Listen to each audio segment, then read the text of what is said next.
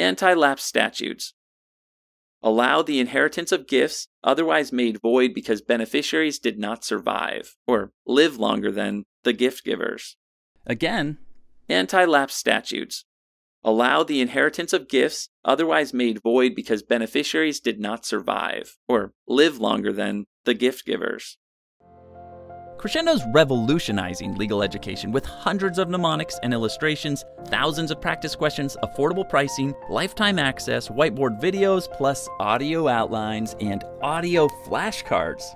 Master the law faster and with more freedom than ever before with Crushendo. You should definitely check out crushendo.com today.